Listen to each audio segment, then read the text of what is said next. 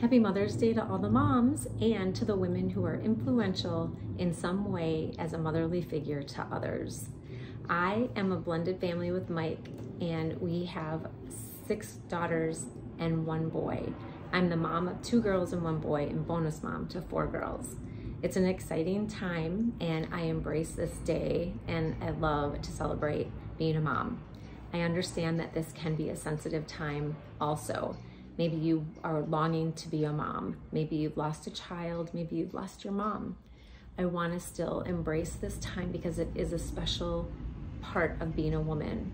Maybe you're planning to be a mom. Your future is to be a mom. Maybe you're pregnant right now. Maybe you have that newborn and you're a new mom, or you have toddlers at your feet, or there could be teenagers, and then the next step is moving out, so you're an empty nester like me. I want you to know that every stage of this process is normal. The emotions run high, the hormones are wreaking havoc. Please lean on one another and help, let's help one another out. We have supplements that can help in every stage because it is emotional and it is hormonal every single one. We have prenatal products, we have postnatal products. That postnatal depletion is a very real thing, like postnatal depression. Perimenopause, postmenopause.